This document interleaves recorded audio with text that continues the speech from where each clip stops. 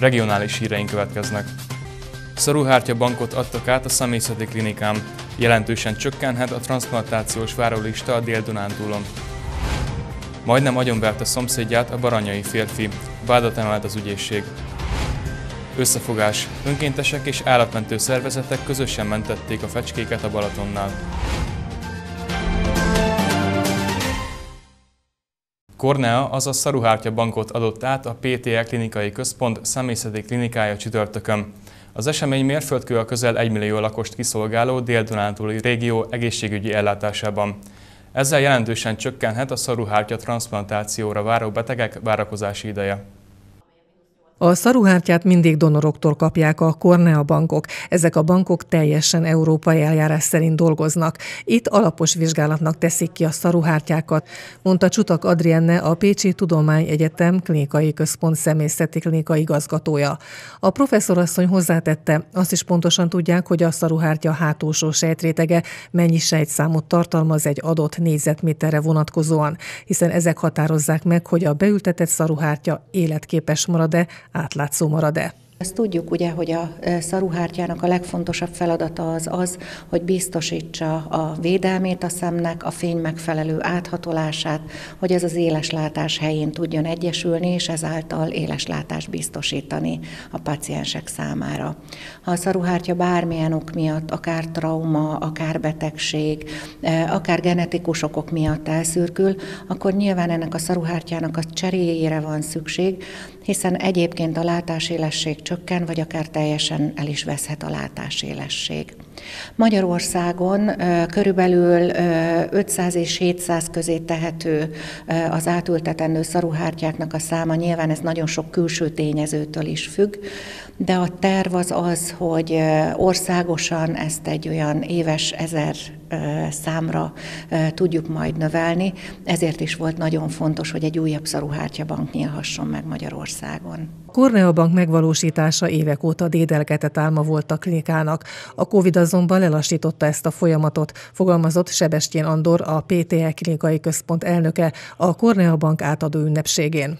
Ennek a jelentősége főként a régió lakosainál, vagy azon kívül bármely állampolgár számára, akik olyan betegségben szenvednek, olyan sérülésben szenvednek, ahol a szaruhártya megsérül, és szükség van a megfelelő minőségű szaruhártya átültetésre, transplantációra, és az nem áll rendelkezésem, az úgy automatikusan nincs, azt valahol elő kell állítani, valahol tárolni kell, megfelelő minőségbe őrizni kell, és alkalmassá tenni arra, hogy az beüthethető legyen valahova. Na ez biztosítja ez a bank, amit mi esetünkben kialakításra került. Ebből sok nincs az országban, de ahol létezik, ott egy biztos háttér, egy beteg biztonsági faktor kerül előtérbe, hogy a szükséges mértékbe, minőségbe rendelkezésre áll azok számára, akik ilyen betegségben szenvednek. Az esemény mérföldkő a közel egy millió lakost kiszolgáló dél-dunántúli régió és az ország egészségügyi ellátásában. Ezzel jelentősen csökkenhet a szaruhártya transplantációra váró betegek várakozási ideje. Miseta Attila, az egyetem rektora köszönetet mondott az egyetem dolgozóinak és a klinikai központ vezetésének a Kornea Bank létrehozása miatt. A beruházás önerőből valósult meg 25 millió forint értékben, de ennek eszmei értéke ennél sokkal nagyobb. Nem kímélt a szomszédját az a délbaranyai férfi, aki ellen most emelt vádat az ügyészség. Az elkövető olyan súlyosan bántalmazta a sértettet, hogy bele is halhatott volna. A vádlottra akár 8 év börtönbüntetés is várhat. Szomszédok közötti verekedés fordulhatott volna a tragédiába tavaly decemberben. Az ügyben most emelt vádat a Baranya vármegyei főügyészség. A férfi a családjával egy délbaranyai faluban élt, mégpedig abban a házban, amely egyébként a sértetnek a tulajdona volt. A sértett is itt lakott, csak ő a háznak a hátsó részében, egy külön álló részben. 2023. december 22-én a reggeli órákban a vádlott ittas állapotban megjelent a sértett házrészénél, bekopogott, bekéreckedett. A sértett beengedte, majd ott mindenfajta előzmény nélkül a vádlott hangosan szidalmazni kezdte, a sértettet illetőleg elkezdte bántalmazni is. A vádlott nem állt le ezután sem, agresszív maradt a sértettel szemben. A bántalmazás következtében a sértett a földre került, itt tovább folytatta a vádlott az ő verését, bántalmazását is, melynek során többször vesényütötte, illetőleg több alkalommal meg is rúgta. Ezek a rugások egy része a fejét érte. Ezt követően a vádlott megfordult és elhagyta a lakrészt, és lefeküdt a saját házában. Az áldozat szerencséje az volt, hogy el tudott menni még orvoshoz a saját lábán. Mint később kiderült, ennek köszönheti, hogy életben maradt. A sértett ezután elment a házi orvosához, aki látta, hogy milyen állapotban van, ezért rögtön mentőt hívott, majd kórházba szállították. A sértett a bántalmazás következtében számos sérüléseket szenvedett el testszerte, ezek közül a legsúlyosabbak a fejét érték, többek között kemény burok alatti bevézése is sor került nála. Az, hogy súlyosabb következményre nem került sor, az tulajdonképpen a véletlennek köszönhető, és a véletlenen múlott, hogy egy életveszélyes állapot nála nem alakult ki. Ennek ellenére a sérülések 8 napon túl gyógyulóak. Ennek megfelelően a büntetés mértéke is jelentős lehet. A vádlottnak a cselekménye így az életveszélyt okozó testi sértés büntet kísérletének a megállapítására alkalmas. Ennek a büntetési tétele 2-től 8 évig terjedő szabadságvesztés. Az ügyben a sértettet ellátó kórház tett feljelentést, látva a férfi súlyos fejsérülését. Az elkövető nem tett vallomást, így nem derült ki, miért bántalmazta a 60 éves áldozatot. Az 56 éves elkövetőre az ügyészség letöltendő börtönbüntetést kér.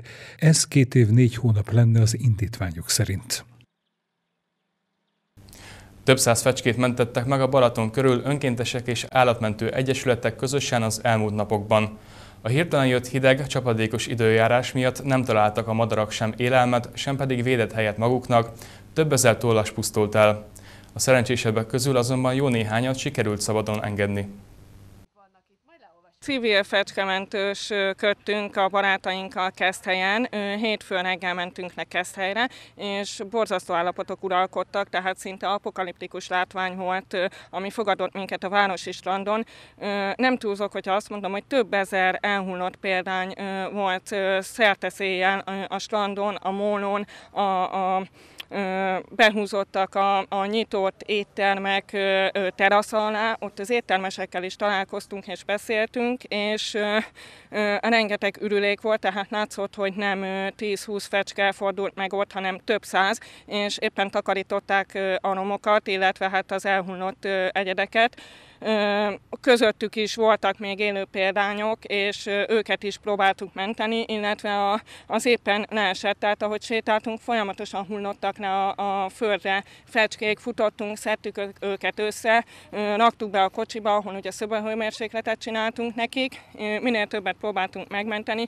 Kint a mólónál volt nagyon sok fecske, aki egy ilyen félfolyosóra be tudtak húzódni, és, és, és ott ültek fent egy, egy egy fal részen, és az alatt egyszerűen rengeteg példány volt. Tehát látszott, hogy folyamatosan, ahogy hűlnek ki, hullanak le, illetve hát az elhullott példányokon próbáltak melegedni, összebújni az elhullottakkal a, a még élő fecskék, tehát hogy borzasztó volt, és ez szerintem mindannyiunknak beégett, akik ezt látták, és ez így örökre ö, megmaradt, tehát ö, szörnyű volt az egész. Hát ilyen több mint száz példányt sikerült megmentenünk, illetve nem megmenteni, csak mentőhelyre vinni, tehát hogy őnekik is valószínű az egynegyedük, ha túlélte, fenékpusztára vittük őket, a vadmentők éppen ott voltak, amikor mi is érkeztünk, és nekik tudtuk odaadni, ők pedig Sóstóra, Sóstói Mentőközpontba szállították őket, hogy ezt a hosszú utat kiké, vagy hányan élték túl, vagy hányan se, azt, azt sajnos ugye mi sem tudjuk. Őszintén eleinte megpróbáltuk számolni, aztán utána már igazából csak tettük a dolgunkat. Mi úgy számoltuk, hogy egész biztos, hogy egy 300-nál több madár ment át a kezünk között. Ezeknek egy részét természetesen nem sikerült sajnos megmenteni, de én azt gondolom, hogy még így is az önkéntesekkel együtt nagyon szép eredményt zárhattunk. Én magam voltam Kenesén, Akaratján, Füreden, átvételi, átvét, átvevő önkéntesünk volt közösen a Fehér Holló Vadmentő Alapítványa a Balatonfüreden, illetve vettünk át Balatonpoglári önkéntesektől is madarakat. Általában lehetőség szerint, amint lehetett enni kaptak, ezek a madarak, amint lehetett melegre helyeztük őket, a gyűjtőpontokon folyt az etetésük, folyamatosan is utána kerültek hozzánk, az erősebbek külön egy szobába, ahol táplálék, víz, minden adott volt az ő számukra, a gyengébbeket pedig kézzel etettük. Én őszintén büszke vagyok magunkra, egy viszonylag kis csapat vagyunk, annál lelkesebbek vagyunk, én azt gondolom, hogy ez is egy nagyon szép eredmény.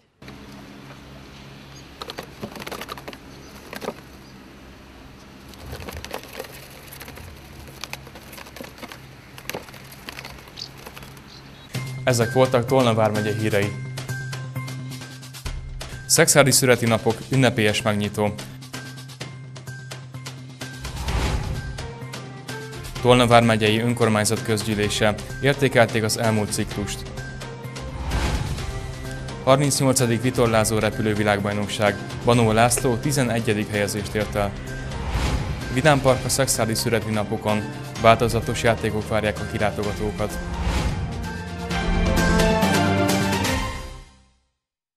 Szombaton országszerte nyugodt, késő nyári, kora őszi felhőtlen, szikrázóan napsütéses időnk lesz. A légmozgás gyenge marad egész nap. A hőmérséklet 25 fok körül alakul.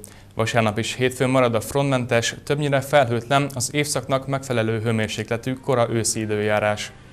Friss hírekkel legközelebb hétfőn este jelentkezünk. Mára köszönöm figyelmüket, viszontlátásra!